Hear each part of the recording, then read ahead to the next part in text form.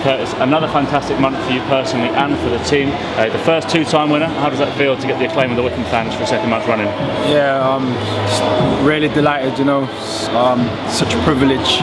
Feel really grateful to all the supporters. You know, for voting me once again to be the player of the month for January. And yeah, just over the moon to be honest. Thank you very much. Let's rewind a month. I think 75 minutes into the game against Doncaster, we'd already lost once against Coventry, 2-0 down against Doncaster. Yourself and Paris revitalised the side with those goals, and, and we haven't looked back, have we? Nah, you know, we um, we knew we needed a result.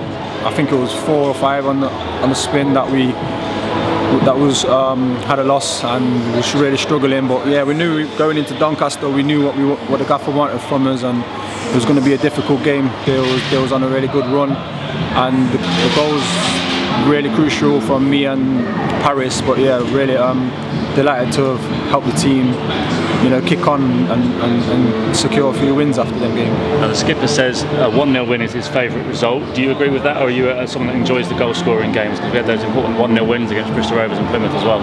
Um, 1-0 wins, yeah, definitely a very good, very good. Because obviously, keep a clean sheet. We always want to keep a clean sheet. But me personally, I prefer if we took away two in the first half and take that little bit of pressure off us. Looking ahead to Luton now, is where you made your Wycombe debut for us last season. A fantastic Tuesday night win for us, a 3-2 victory. Um, looks like being a, a, tough test for us against the league leaders on Saturday. Yeah, definitely going to be a tough game against Luton. You know, they're flying, top of the league, really good side. But um, we've been working well in training.